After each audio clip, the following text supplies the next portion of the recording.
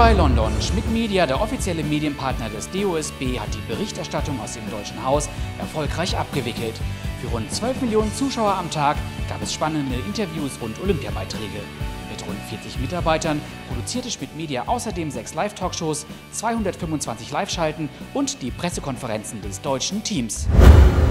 Phänomenaler Auftritt. Die Zürich Olympia-Kampagne ist nicht nur bei den Usern ein voller Erfolg. Die Zahlen belegen auch eine hohe Werbewirksamkeit. Und ich habe im Moment eine Conversion Rate von 9%. Das heißt, 9% der Anfragen sind in Geschäft umgewandelt worden. Wenn man weiß, dass der Marktdurchschnitt bei ungefähr 1% liegt bei Kampagnen, würde ich auch sagen, das ist überdurchschnittlich gut. Die Zurich-Kampagne wird von Schmidt Media inhaltlich und strategisch begleitet.